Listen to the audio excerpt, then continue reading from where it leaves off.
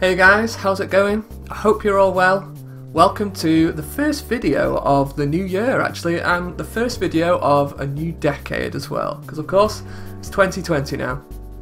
So I wanted to discuss something today that is actually one of my most popular requests to do a video on, and that is the Gran Turismo 3 press kits.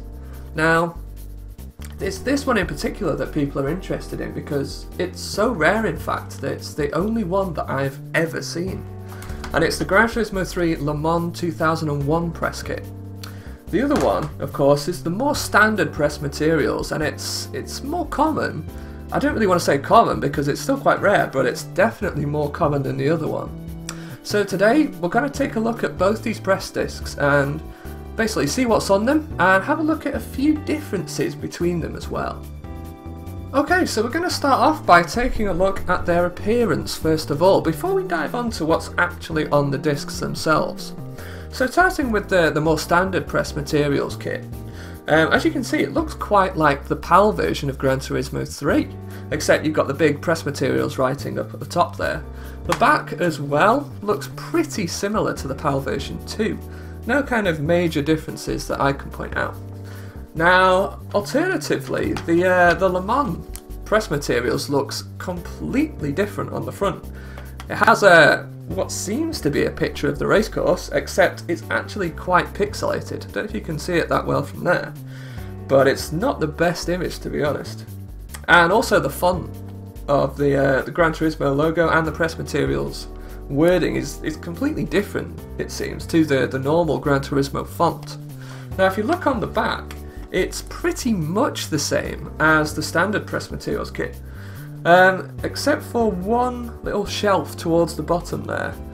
Um, looking at the spine, it's pretty much what you would expect, really, uh, and also has more writing on because, of course, the uh, the title is a bit bigger. I do wonder whether they, they chose to just put GT3 rather than Gran Turismo 3, uh, because it would just be too long to fit all that wording on there. Okay, so we're going to have a look inside them now to see what contents lie within. So we're going to start with the standard press materials one again. The first thing to note is the booklet, which is a Gran Turismo 3 car guide, and it actually has this lovely blue cover, which is really nice uh, against the red of the front cover. Now, inside it, you've just got pages and pages. I think it's about 84 pages long, actually, about some of the cars in the game. I don't want to say all of them because I haven't checked through it in that much detail, but I doubt you could get every single car in the game onto 84 pages. So, what else is there inside? So, what we have is a Gran Turismo 3 press information disc, which looks like that from July 2001. It's nicely dated there. And we also have a copy of the game as well. A PAL copy too, the European version, basically. So, if we look at the Le Mans press kit, what we have is no car booklet whatsoever, two discs again, but the first one is a DVD video dated to the 16th and 17th of June 2001, and also the press information disc. Now, I've had a quick look already, the press information disc here and in the other press kit are quite similar, not completely similar though, so we will go through a few of the differences after, and also the DVD video which you'll notice was completely absent from the normal press kit. Just before we dive into the discs, I just wanted to say a big thank you to all my members. Your support is really appreciated, and essentially just helps me to carry on doing videos like this, so thank you very much. So we're going to go ahead and take a look at the files on the disks now. So I've already copied them across to my computer here so you can see two files, one for the Le Mans press kit and one for the standard press materials as well. So we're going to dive into the Le Mans one and we're going to go for the press information disk first. Now if you remember me saying that um, a lot of the files across the two press disks, across the two press kits, are actually quite similar with only a couple of little differences. So we don't need to go through both of them in detail, but after I will dive into the, uh, the other press disk and I'll just show you what those different files are. So we're going to jump straight in, go to corporate, or at least I assume it's corporate, they don't actually have full words here. Um, and we're going to jump into PlayStation and PS2 hardware.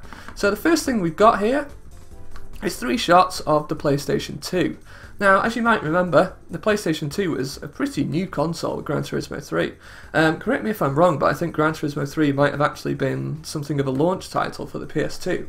Um, so obviously there was a lot of marketing around the PlayStation 2 at that time because if you didn't have a PlayStation 2, well, you couldn't play Gran Turismo 3.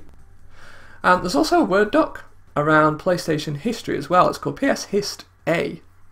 Presumably there's a PS History B, but for whatever reason we only have the A here.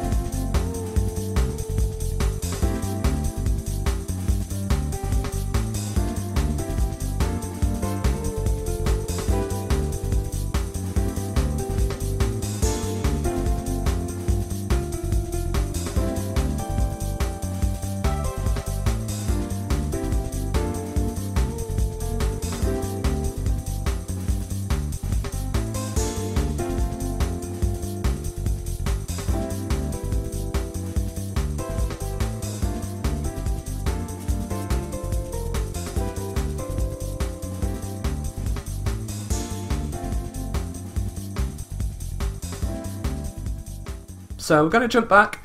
There is a folder that says PR contact or PR contact anyway. Um, I'm not going to open this file just because it contains like contact details of the, the PR contacts for Gran Turismo at the time. Um, so I wouldn't want to share anyone's personal information. So anyway, now that we've got over the, the kind of corporate stuff, um, we can now dive into the, the Gran Turismo folder, which I think is probably going to be more interesting anyway. Oh, as you can see, we've got four folders here. The first one is for the original Gran Turismo. So we're going to dive into the artwork folder straight away. As you can see, we've got a nice kind of high-res model of the Corvette 96, the Viper RT10, and some really nice, again, high-res shots. They, to honest, they remind me of the, the opening cinematic to the original Gran Turismo. One of the TVR Griffith there, um, another one there that was used for some of the backgrounds in Gran Turismo and also one of my absolute favourite shots from the original Gran Turismo. This shot, or at least one very much like it, from a slightly different angle, was used for the original menu screen on Gran Turismo. And what's interesting is that it, it shows all these cars in quite a beta state um, from months before the final game was released. So they all, to be honest, differ to their final version counterparts. I've actually done a, a whole video on this topic actually, so comparing the cars here to the cars in the final game. So you should check it out if you're interested in learning a bit more about these cars. And of course another shot of the same image as well. Anyway, and we have another lovely shot of the Nismo R33 GTR. And some other cars as well, of course. Cool, so, gonna move on to the logo. I think we all know what the Gran Turismo logo looks like, but just in case you needed it. That's quite a big version actually, but just a shame it doesn't have a transparent background, otherwise it could have actually been quite handy for my videos. And of course you've got the pack shot as well. You know, we all know what Gran Turismo looks like, right? And a few screenshots as well. So we'll take a look at these. Um, not too high res to be fair, and they seem to show what seems to be a final version of the game. So there shouldn't be anything too groundbreaking here, but still, nice nonetheless. So we've got the Viper, a few cars there at High Speed Ring, uh, including the FTO LM Edition, one of my absolute favourite cars. Nismo, oh, FTO again. So it seems to be kind of highlighting a lot of the special models. I imagine that, you know, those were the models they were somewhat proud of, I imagine. So there we go, again, nothing too groundbreaking there. And we've got some text as well. So a, a press release around the original Gran Turismo. So here we go. when it originally launched. There we go, 22nd of October 1998. Of course, I don't believe we got it over here in the UK until 1999, just off the top of my head. As you can see, the units shipped, uh, Europe actually outsold North America. That's interesting, I really didn't know that. And obviously the totals. So obviously, again, you can pause this, read through this whole document if you like at your own pace. I'm just going to skip through it for now for the purpose of this video. GT2 now. So obviously, same kind of folder structure here. Um, not as many files, it seems. Lotus Elise 111S. Um, correct me if I'm wrong, I don't remember it having the the tail on it like that. That's quite interesting. Someone's going to have to correct me on that if possible. But I don't, yeah, I don't remember that rear spoiler being there. Maybe it was, who knows. And the Jaguar XJ 220 race car. Again, those tyres look really fat to me. They seem to kind of stick out from the uh, from the car. Weird. Okay, again, maybe it's just me. And then we've got a shot of the uh, the Lancer Evolution rally car. Also, a really nice shot of some of the cars. Ah, what? I'll tell you what. What's interesting here is if you notice the uh, the Honda, oh sorry, Mugen NSX on the right hand side there, that white colour scheme was actually cut from the game, but it still exists um, in some of the demos, so you can actually play as it with cheat codes of course on there. So, alright, we'll jump back out of the artwork file, go to the logo. I'm sure, you know, everybody knows what the, uh, the Gran Turismo 2 logo looks like, so we don't need to go into that too, in too much detail. The pack shot, again, from the, the PAL version of the game. And now we have some screenshots, so some of these don't seem to be functional. But hopefully, there we go, we can view some. So that's quite interesting. So it's the Corvette Stingray 42767, I think. Um, at a beta version of Seattle, I think. Again. Now, I say a beta version of Seattle because the sky looks kind of somewhat darker uh, than it did in the final version of the game. And again, we have more muscle cars, of course. Yeah, so you can see, um, it, it, seems to be around the same time as the demos were released. Obviously, they, they were spread out over a period of time, but, but yeah, the Gran Turismo 2 logo in the bottom left-hand corner there uh, indicates that it was from a pre-release version of the game, because that's what all the demos had. Nismo, and... Oh, there we go, so one more is going to work. Suzuki Cappuccino. Often misspelt cappuccino on Gran Turismo 2. Okay, so that's it for the screenshots. Let's carry on and have a look at the GT2 press release this time. So here we go. Start off at London, December 1999. And that was when, well, it says when they announced the anticipated release of Gran Turismo 2. I'm sure it was actually announced way before then.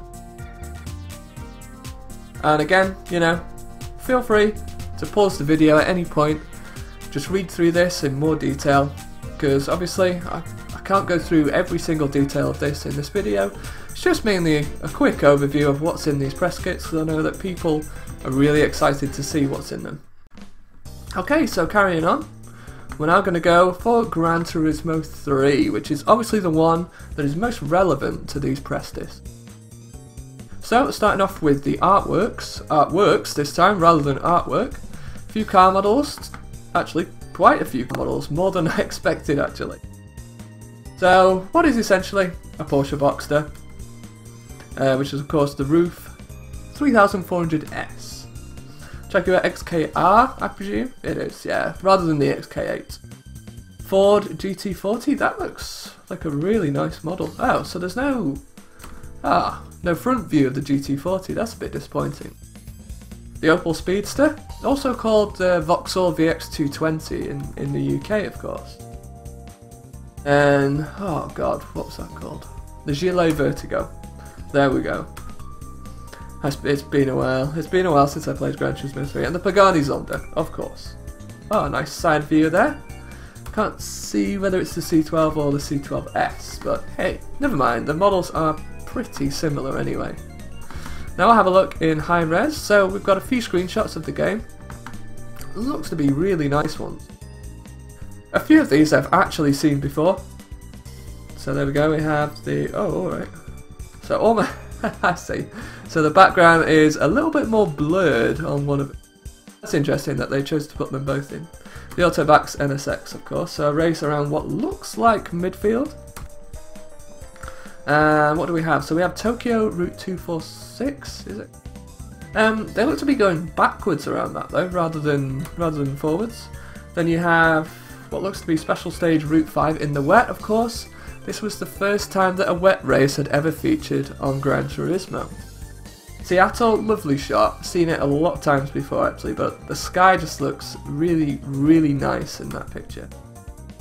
Mazda RX-8 debuted in Gran Turismo Concept, I believe.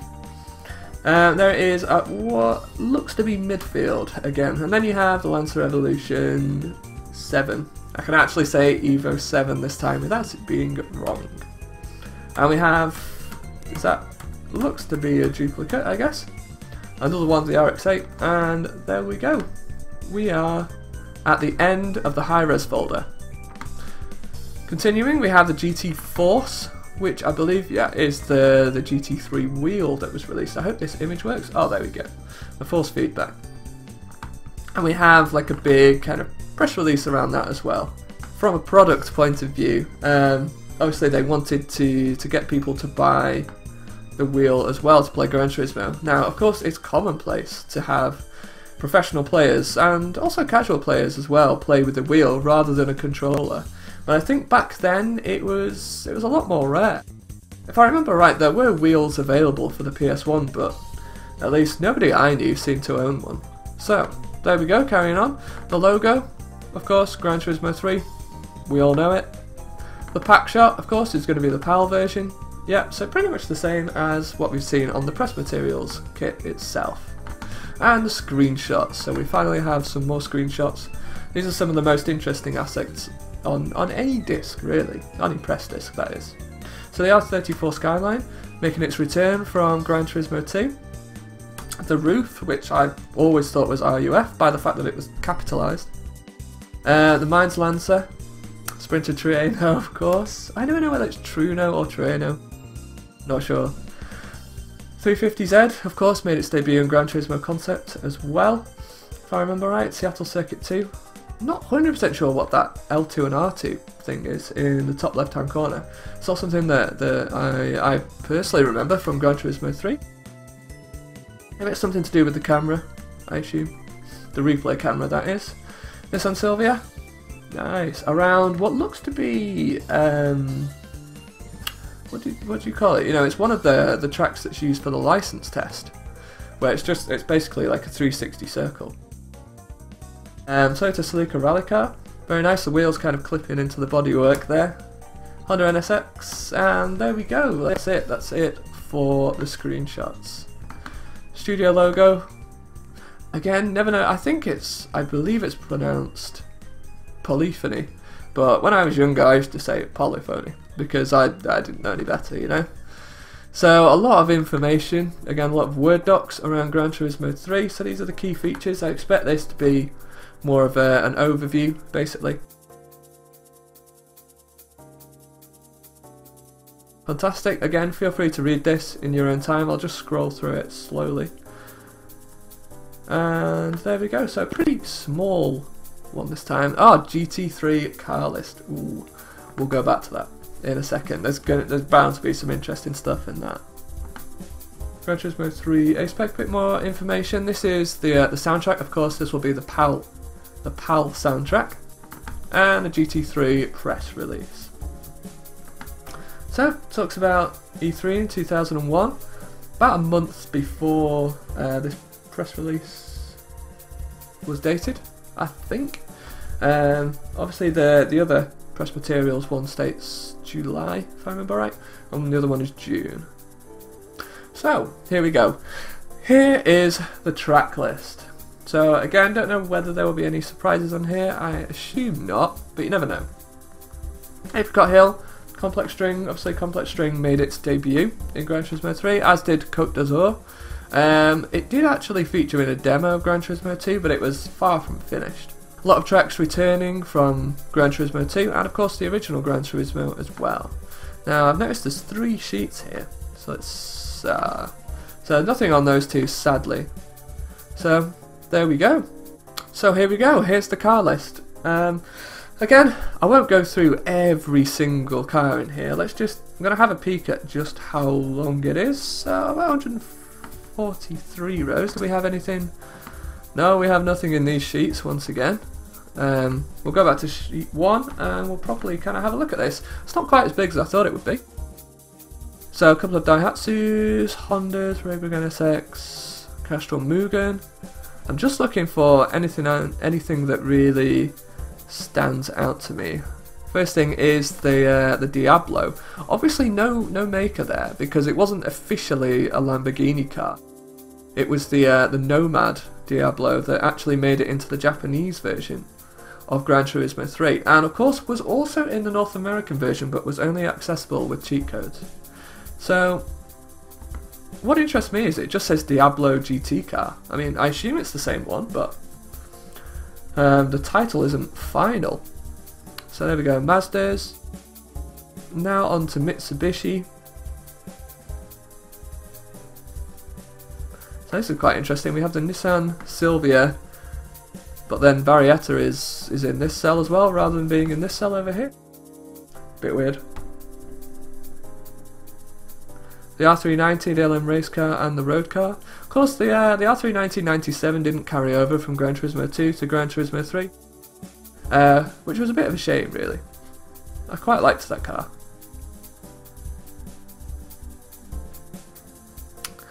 There we go, down through Subaru, Suzuki, only one Suzuki listed. Tommykaira, the, the ZZS. Um, it's actually quite similar to a pre-release Gran Turismo 2 car list I got recently. and the only Tommykaira model listed was the ZZS, no ZZ2 or ZZ3 or anything like that.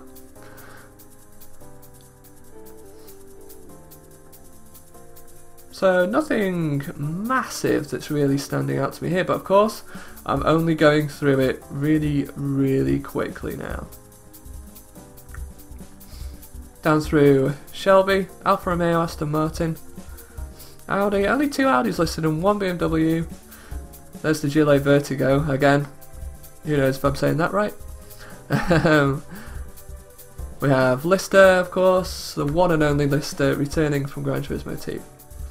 Mercedes Benz, the couple, the Opel Calibra, touring car, not the Calibra, the Calibra. Zonda, of course, making its debut officially in this game, although it was planned to appear in Gran Turismo 2, but for whatever reason, it didn't happen. So, oh, we've got both both Opel and Vauxhall. However, there are more Vauxhall cars listed than Opels. Cool. Right. So there we go. Back into Gran Turismo 3. Back out and GT3 Create. Uh, I assume this is discussing the creation of Gran Turismo 3. Uh, a lovely Mazda RX-7 there. And a, an absolute ton of cars parked in the car park, including what I can see is uh, Toyota MR2, Citroen Xantia. Can see uh, Subaru Legacy there, obviously you won't go through them all. BMW 3 Series over there, I think. Here we have another look. Oh, an old Mazda RX-7, Renault Clio. Is that a Daihatsu Midget? It's a Daihatsu Midget. It's the I didn't even know there was a van version of the Daihatsu Midget. I just thought that it was the uh, the, the weird sort of pickup truck thing that, that existed on the game. that's brilliant. I'm so glad. I'm so happy that that's there. Okay, so we finished the car park, or cars park, as it says there. And we're going to go into the paddock where we have a few more screenshots to look at. The first one shows a Clio Cup version as well as a few other cars that I can't quite make out. Now, the Winfield uh, Mitsubishi Lancer, really nice car to include. That um, I believe it's actually owned by Kazunori, and it was set to feature in Gran Turismo 2, and it was cut for uh, what I can presume is licensing reasons, really. Um, the Winfield logo, of course, because it's a tobacco brand, was actually obscured, and you still can actually see the uh, the car on the final game of uh, Gran Turismo 2 as well. It's hidden in the game's file, so it wasn't deleted entirely. And it also shows up on the PAL language selection screen too. Cool, couple more shots there of the team. Mazda MX-5 with a lovely Gran Turismo number plate. And a Honda S2000, of course, returning from Gran Turismo 2. So, last one now, on the track. As a, you know, we both know what this is going to be, it's cars on the track.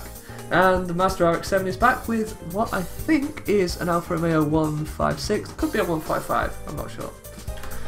I don't suppose we're going to see the Daihatsu midget here, unfortunately, but we have the Mitsubishi Lancer again with Kaz at the wheel.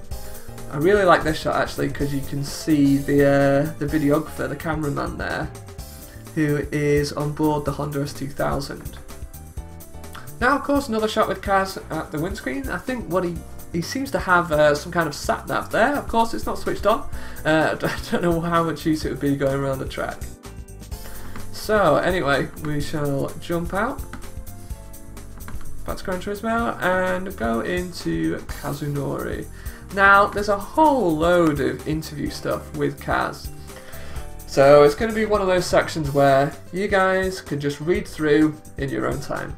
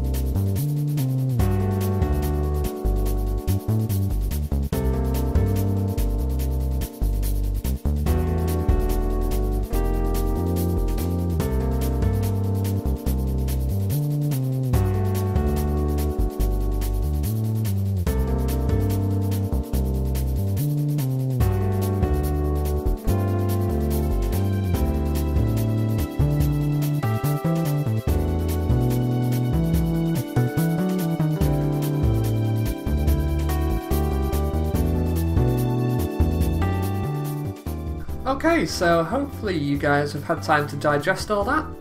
So I'm going to jump out and carry on. So the first thing to look at now is a few photos of Kazunori as well. I assume you all know what he looks like. If you don't, well, this is him. Nice shot with the PS2 and the Lancer in the background. Of course, Kazunori using the wheel as well. Uh, I'm going to jump out and go into the Le Mans folder. First folder is PS2 car, so obviously this whole press kit is kind of centered around Gran Turismo 3 and Le Mans, and a few cars at Le Mans in that year were sponsored by PlayStation it seems. So here we go. Uh, obviously that's not at Le Mans, but another car featuring the PlayStation logo of course. Fantastic. Right, we'll jump out, jump into various. So these, I guess, is some more shot, are some more shots from from Le Mans.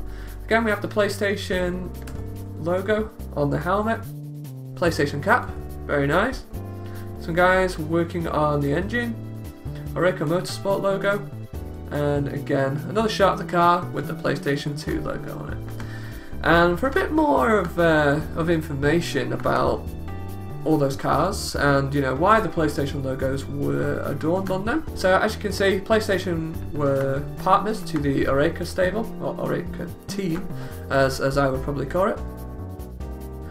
Then obviously partner to the FFSA French team, and PlayStation creates the PlayStation Racing team as well. One thing I actually picked up on is, um, interestingly, there's a few ex Formula One names here. Ex Formula One drivers often end up in Le Mans. So Yannick Dalma, Silvio Beretta, Stefan Sarrazin, Franck Montagny had only a handful of races, I think. So obviously none of these were, you know, front runners in Formula One, but quite interesting. Jonathan Cochet, I assume, Jean-Philippe Dayraut, and David Terrien. Uh, who knows? Who knows if I'm pronouncing any of those names correctly. More info about the PlayStation Racing team, of course, and again, you know, stop the video, pause it, give it a read through, and we've got some PR contact information down the bottom there, which I won't display, but just to make sure.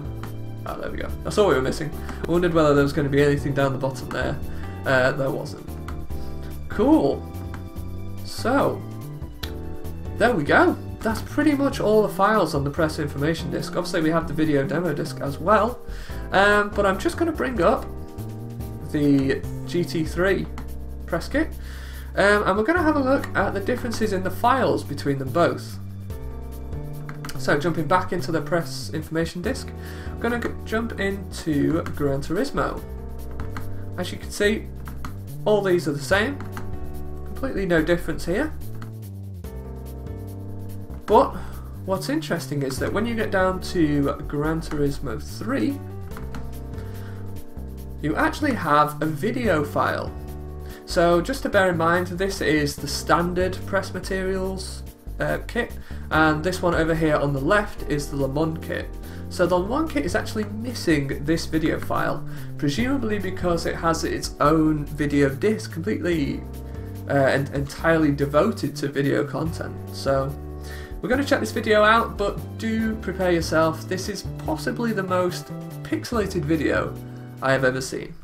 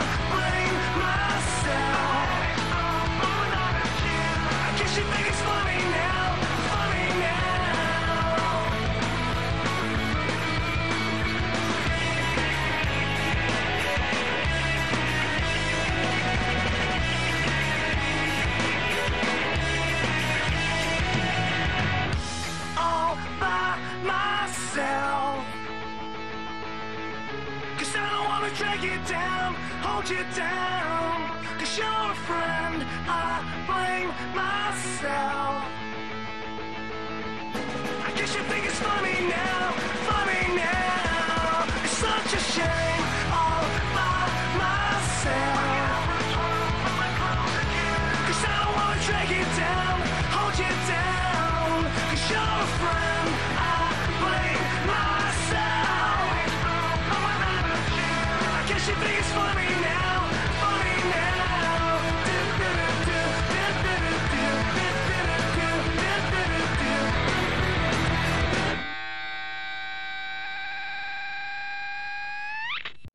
Okay, so now you've seen the video. Uh, I warned you that it was going to be very pixelated, uh, and of course it was. But I don't know why they, they compressed it so much. Obviously, we're going back many, many years here, back to 2001. Uh, online video just, well, I know it's not online, but, you know, computerized video uh, just, just wasn't in as good quality as it is now. You know, we're very, very lucky now with what we have. So, anyway, we're going to jump back out and we are going to go into the Le Mans folder. So, obviously, with the Le Mans specific press kit, it's bound to have like more Le Mans content, isn't it? Really, because it's all around that. But surprisingly, it's actually not too much different. So again, starting with the, the standard press materials kit on the right, we have a folder around Kazunori, but there's nothing in there.